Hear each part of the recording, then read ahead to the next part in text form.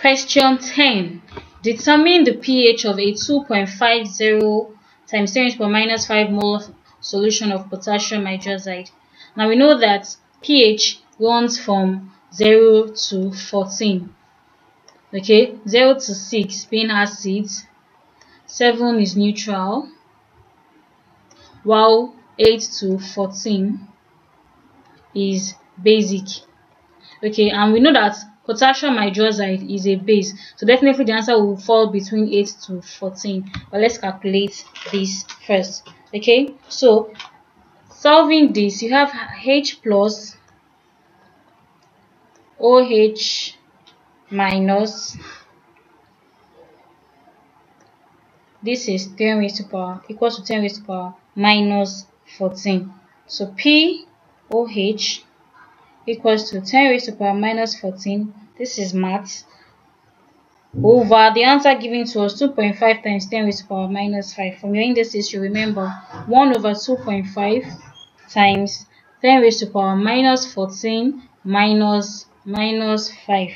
This gives us 1 over 2.5 times 10 raised to power minus 9.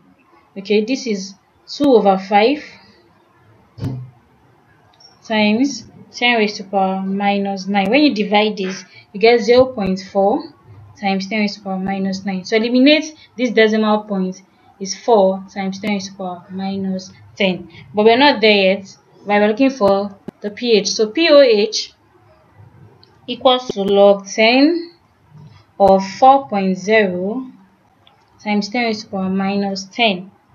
So solving this, you have minus log 10 4.0 plus log 10 10 10 okay so this is 10 we have to rearrange this. 10 log 10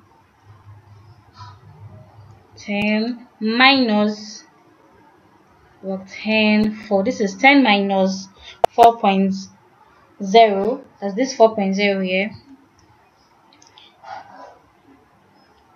So log 10 here is what 0 0.692.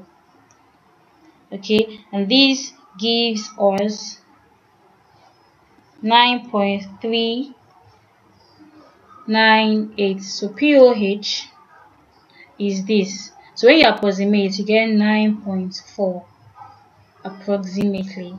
So the answer is option B. When you determine the pH of a 2.50 times 10 per minus 5 molar solution of potassium hydroxide gives us 9.4 option B.